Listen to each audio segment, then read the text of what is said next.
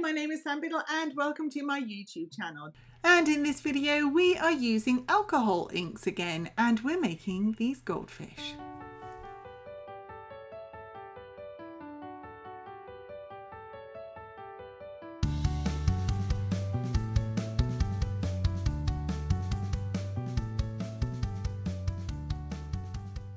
I thought I would do two little fish in different uh, swimming directions. So the first thing you need to do is prepare your tips and we're just doing two coats of white gel polish on a tip nail. But you can do this on a client too. Now once you've cured it for 30 seconds you add a background layer. Now I'm using pigment for this. You could use gel but the pigment just gives me a little bit of a shimmer which I like and it peeks through the inks. I'm also not covering the whole nail because if I was to use this blue background and then put yellow over the top, I end up with mud. And we don't want muddy fish. What we want is we want that yellow and the orange from the goldfish to really stand out. So really I'm just going around the outside and creating a frame. Now these are pigments from Be Creative range and you can get these on sambiddle.co.uk. Uh, we are using the Pretty collection and the Bright Collection. That dark blue is Ocean from the Bright. It's beautiful. So once I've got my pigments in, I'm really making this quite rough. I'm not really that bothered by it. We need to create a layer for the inks to sit on. Now I'm using top and bottom from Orly. You could use matte top coat, but make sure it's a top coat that has an inhibition layer. This one is a no cleanse top coat. That doesn't work. What you want to do is you want to have a top coat that's shiny, but slightly porous. That way the ink will sit nicely on that top coat. Now, I would always recommend that you test the inks that you're going to use on a paper towel just to make sure, because they, they look different in the bottles, um, just to make sure that you've got the right collection. And really, we're just using a yellow from uh, Chroma Ink Nails and a nice orangey red as well. I'm going to use the blue later, right at the very, very end. So all I've done is used a small brush. This is a brush I specifically use for inking. Um, and I've just dipped it in a palette which has that yellow on it. And then I've re-dipped into that dark red. You can see here I'm painting just like I would regular paint.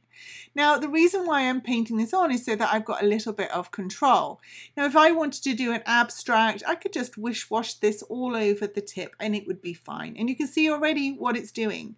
But I want to make sure that I create some kind of shape. Now I've used a mixture here, not just of alcohol, but it's alcohol with uh, five drops of glycerine. Now I would definitely just test this out um, and see how it works for you. I'm using 91% alcohol and I'm using just five drops in 500 mils of uh, alcohol, just sorry, five drops of vegetable glycerine. That just allows me to move the ink around without using the alcohol to bleach it. Once you put that alcohol down over the top of any of the color, it instantly just bleaches it out. Whereas this works as a lubricant really, and it just makes everything softer and smooths things a lot easier. So there is a definite difference between using this mixture or using pure alcohol. So obviously I've got this little thing happening at the top. We're going to get rid of that later. But what we need to do is just get the colors down. And I don't want you to just go to town with this. Take your time and make sure that you're using the right amount of ink uh, as opposed to the right amount of blending fluid, depending on what you actually want. Now we are being quite controlled here because we want to create a fish shape. But if you really didn't really matter about that, then, you know, just let the ink do the work. And that's the key with this. We try and control our product that we're using and the problem with that is that we don't let the product do its job. Now if I wanted to paint a fish I would use gel paint or regular paint but I don't. I want ink to just allow it to be just sort of natural and smooth and wet and amazing. so you can see I've added a little bit more of the orange and I'm just going over and layering. So now I'm cleaning up the underside of that fish and I'm literally just using a little bit of alcohol. I'm using 99.9% alcohol on my brush right now and uh, I use that. You'll see later how I use that with the blue just to bleach out and uh, create bubbles. So that was fish one. Now we're going to do fish two. And you can see that I'm coming down. And just to show you, can you see how when that yellow went over the blue, it sort of looked green? Obviously, if you know your colour theory, it will go green. But if I then add red, it will go brown. So make sure that when you're planning this out, and I probably should have planned this a little bit better, you don't put a heavy amount of blue where you plan to put the bulk of the fish. Now, for me, it worked okay. And I am happy with this. But hey, if you watched my nail art at night video um, the other day, it didn't work so well, hence why I'm doing it again. Um, so yeah, just make sure that when you're looking at things, you plan it out. When you're putting your background on there, the background is designed to help you. But what you will see is that I actually layer again and I create a semi foreground background. So really you could completely miss out the pigments. So my fish is pretty much done. We're going to add some details like eyes and whiskers. I know fish do have whiskers, or certainly these koi carps do. Well, they're a sort of merging between goldfish and koi carps. I mean, you know, it's a fantasy fish. You know, it's a, a fish of my imagination. That's my excuse anyway.